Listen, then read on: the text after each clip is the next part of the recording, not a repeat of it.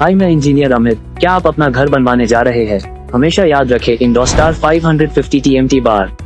जो करे मज़बूत नींव का निर्माण, करे आपके घर की सालों साल सुरक्षा और आपके अपनों की सदा हिफाजत।